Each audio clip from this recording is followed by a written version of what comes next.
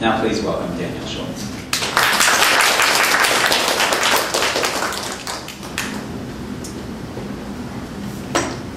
I, uh, I don't in any way um, want to seem ingrateful uh, to Nick, um, but uh, a few years ago I was at the Hungry Mind bookstore uh, in uh, St. Paul, another legendary bookstore. It's sadly gone out of business. And uh, as I was coming out of the store, um, I ran into the author um, Andrew Vachss, who, who writes uh, mystery novels.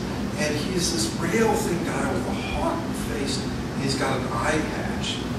And he was standing out there on the, the sidewalk smoking a cigarette before he came into it. Now that is an introduction to an author that you will not forget. Well, we seem to be uh, profoundly stuck in our national politics. As the blogger Jay Ackroyd puts it, uh, effective and popular policy seems incredibly uh, uh, difficult to implement, while policies that benefit only a few pass through the system because of political circumstance and institutional bias. So the big question of the day uh, for the progressive movement is, how do we get unstuck? Uh, we can't begin to undo the damage done by the last administration, let alone move things in a more constructive direction until we get this whale off the beach. now, on the tactical level, there are a few clear answers to uh, this question of our collective stuckness. We need uh, Senate reform to lessen the minority's power to obstruct uh, popular legislation. We need to stop the money train to uh, government. We need to fire the blue dogs um, who have been conspiring uh, with uh, Republicans to hold up popular progressive legislation. But on a strategic level, on a philosophical level, um, this turns out to be a very difficult question. Anybody who studied American politics for more than about five minutes knows that it is perverse to the point of insanity. And the uh, requirement for justice seldom enters into its equations. So the question progressives are really faced with these days is how to create and sustain a truly transformative politics one that ensures that the deal that we get 10 or 20 or 30 years down the road is better than the deal that we get today. And unless I have read the situation wrong, the activist base of the progressive movement has concluded that if we are not moving the football to the left, it is getting moved to the right. And they are not very interested in playing that game, which may have dire consequences uh, come November. So in the midst of this situation, religious progressives have this additional challenge of crafting a response uh, con consistent with their uh, faith commitments. That's not to say that uh, we're out to uh, Christianize government necessarily, but we all have values, um, all of us, whether we are religious or not. And uh, most of us, I think, would like to live in a way that doesn't violate those values. More to the point, uh, religious progressives believe that their faith or faiths uh, gives them some insight into the common political situation, and they would like to bring those resources to bear in the uh, public square. In particular, religious folks think that their faith uh, tells them something about the systems that sustain our political life and what might be wrong with those systems. That is to say, we think that there is more to the current situation than just bad politics.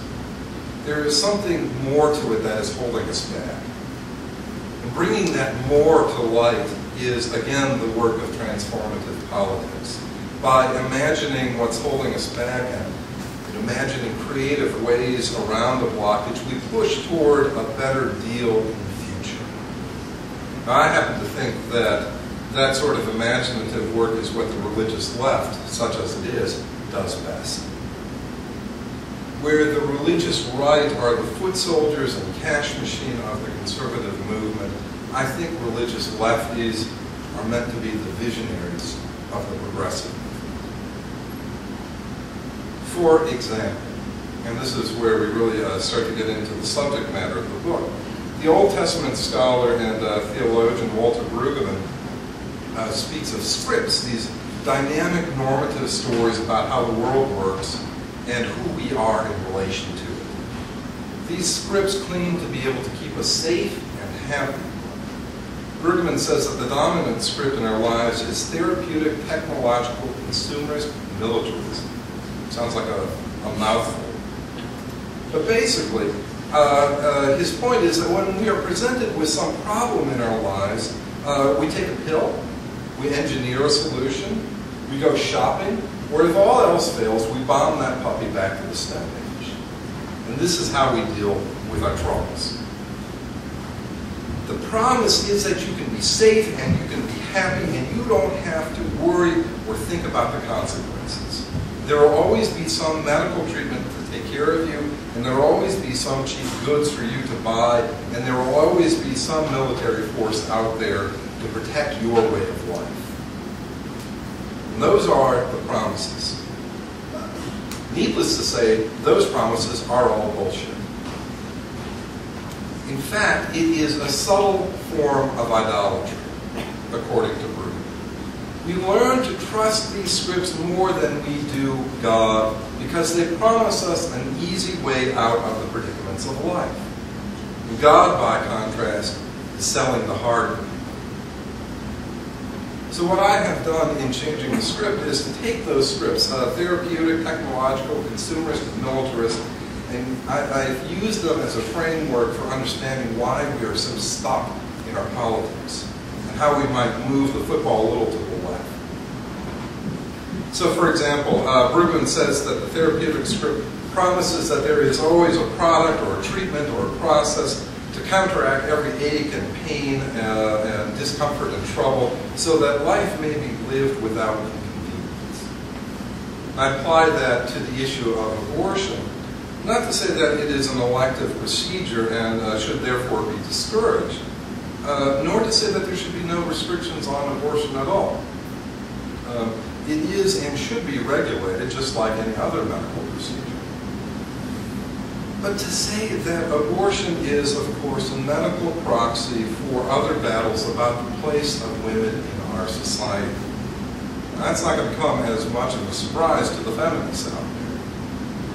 But the point is, until uh, progressives get out of the abortion is icky butt frame and start empowering, uh, focusing on empowering women, abortion is always going to be a problem for them.